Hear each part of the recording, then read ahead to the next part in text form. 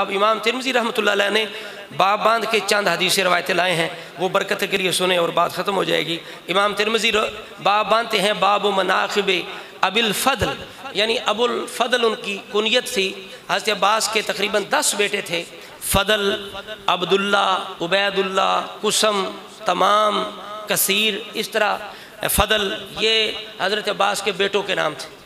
تو فضل کی وجہ سے آپ کو ابو الفضل کہا جاتا تھا، فضل کا باپ فضل کا باپ باب و مناقب اب الفضل امن نبی وحو العباس سبن عبد المطلب رضی اللہ عنہ۔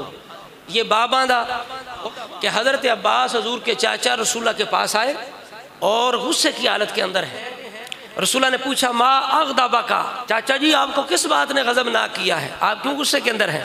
قال، یا رسول اللہ انہوں نے عرض کی، یا رسول اللہ مالانا والی قریشن.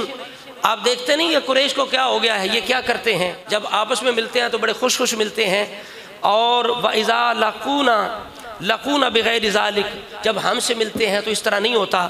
آپس میں بڑا خوش خوش یہ ہمارے ساتھ کیوں ایسا ہوتا ہے؟ جب آ کے یہ شکایت کی نا، تو قال فغادب رسول اللہ۔ رسول اللہ بھی غضب ناک ہو گئے۔ اور اس طرح کے تحمرہ وجہ رسول اللہ کا چہرہ غصے کی وجہ سے سرخ ہو گیا۔ سرخ ہو گیا۔ پھر ثم قال، رسول اللہ نے پھر فرمایا، والذی نفسی بیادہ لا يدخل قلب رجل الایمان۔ حتی یحبکم للہ والے رسول ہی رسول اللہ نے فرمایا، اس ذات کی قسم ہے جس کے قبضہ میری جان ہے۔ اتنی دیر تک کسی بندے کے دل میں ایمان داخل نہیں ہو سکتا۔ جب تک اے میرے چاچا، اے اہل بیت، وہ تم سے اللہ، اس کے رسول کے لیے محبت نہ رکھے۔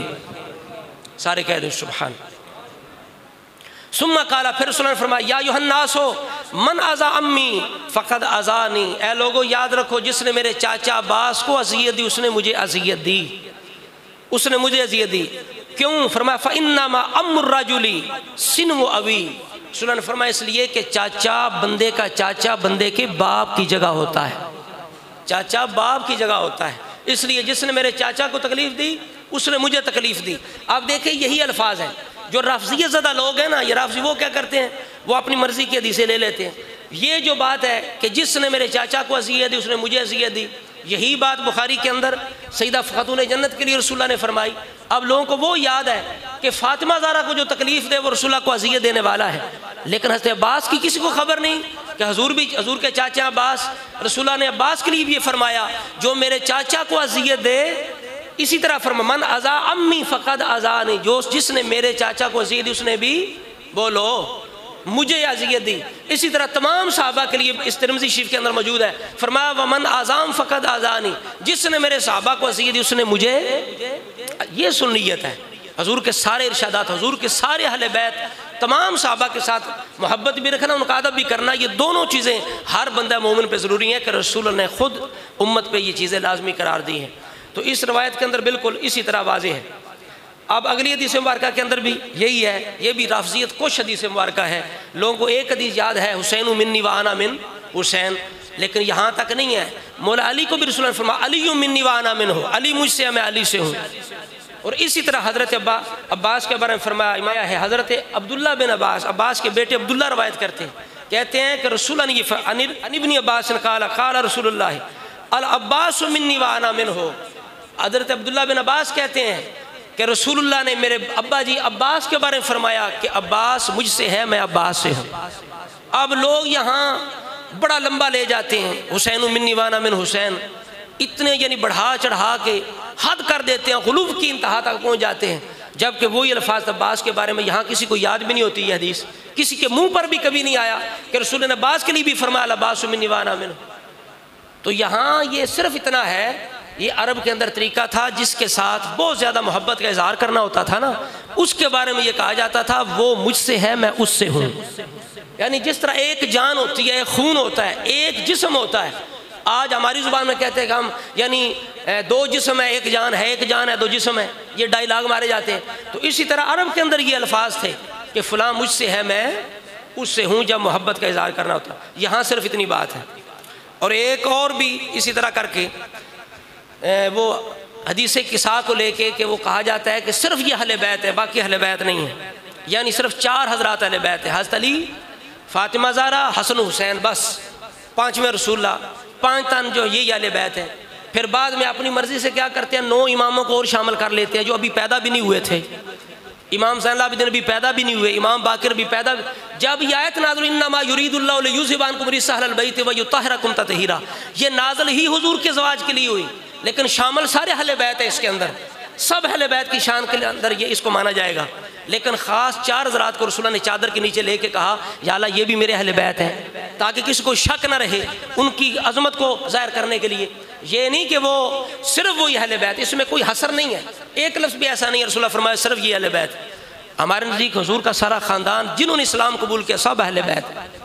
حضرت عباس بھی اہل بیت، حضور کے زواج بھی اہل بیت۔ ہے تو جس طرح اعزاز حاصل ہوا ان چار حضرات کو، اسی طرح حضرت عباس کو بھی یہ اعزاز حاصل ہوا۔ تو ہم ان کو بھی پاک بھی مانتے ہیں، اہل بیت بھی مانتے ہیں۔ یہ دیکھیے ترمزی شریف کے اندر ابن عباس ہی اس کے راوی ہیں۔ ان ابن عباس قالا قالا رسول اللہ علیہ عباس، ابن عباس کہتے ہیں، رسول اللہ نے میرے ابا جان سے یہ فرمایا، کیا؟ اذا کانا غدات الاسنینی فاتنی انتا و والدو کا اے چاچا جی جب سوار کا دن آئے نا، تو صبح کے وقت آپ اس طرح کریں، خود بھی میرے پاس آئیں اور اپنی اولاد کو بھی میرے پاس لے کے آئیں۔ سمار والے دن صبح صبح آنا، اپنے بیٹوں کو حتیٰ ادعو لہم بدعوت تاکہ میں آپ کے لیے خاص دعا کروں گا۔ خاص دعا کروں گا۔ کیسی؟ جن فوق اللہ بہا و والدہ کا آپ کو بھی نفع دے گی، آپ کی اولاد کو بھی نفع دے گی۔ ایسی دعا کروں گا آپ کے لیے۔ رسول اپنے چاچا سے فرما رہے فغدا، فغدونا ماہو کہتے ہیں، ابن عباس کہتے ہیں، جب سوار کا دن آیا تو میں اپنے باپ کے ساتھ رسولہ کے پاس ہم پہنچے۔ تو رسولہ نے کیا کرم نوازی فرمائی؟ کیا کرم فرمایا؟ فَأَلْبَسَنَا قِسَاءً اللہ نے ہمیں چادر میں لے لیا۔ اسی چادر میں جس جس کے اندر فاطمہ زارہ کو، علی المرتضیٰ کو، حسنین کریمین کو لیا تھا، اسی چادر کے اندر مجھے بھی لیا یعنی ہم سب کو ابا جی کو، ہم سب بھائیوں کو لیا۔ ثم قالا پھر رسول نے دعا کی، کیا اللہ مغفر للعباسی و والد ہی مغفرتاً، ظاہرتاً، باطنتاً۔ یا اللہ، میرے چاچا عباس ان کی اولاد کی مغفرت فرما دے۔ صرف مغفرت نہیں، کیسی؟ مغفرتن ظاہرتن باطنتن یا اللہ، باطنی زہری مغفرت فرما دے۔ ہر طرح کی میرے چاچا چاچا کی اولاد کی مغفرت۔ یہ یہ مقام ہے اہل بیت کا۔ حضرت عباس ان کی اولاد کا رسول کی بارگاہ میں۔ لیکن لوگوں نے حضرت عباس کی بھی جو پائنتن پاک کو زیادہ سمجھا ماننے والے انہوں نے عباس کی بھی توہین کی، جگہ جگہ ابن عباس کی اولاد تک، بلکہ یہاں تک ان کی کتابوں کے اندر لکھا ہے کہ معاذ اللہ کہ رسول اللہ نے عباس ان کی اولاد پہ لانت کی ہے استغفر اللہ ملعون لوگ اس طرح کر کے بے کرتے ہیں۔ جبکہ رسول اللہ یہ کہہ رہے ہیں، یا اللہ میرے چاچا اولاد کی زہری باطنی مغفرت فرما۔ لا تغادرو زمبن ایسی مغفرت کہ ان پر کوئی بھی گناہ باقی نہ رہے۔ صحیح پاک فرما دے، پاکیزہ فرما دے، اللہم محفظ ہو فی والد ہی اور یا اللہ میرے چاچا باس کی اولاد کی حفاظت فرما، ان کی حفاظت فرما۔ یہ مقام تھا حضرت عباس بن عبد المطلب حضور کے جو چاچا محترم ہیں، ان کا رسول اللہ کی بارگاہ میں پچھلے جمعہ پہ امیر حمزہ کا ذکر ہوا۔ آج بھی ابتدا میں ان کا ذکر کیا، آخر میں حضرت عباس کا ذکر ہوا۔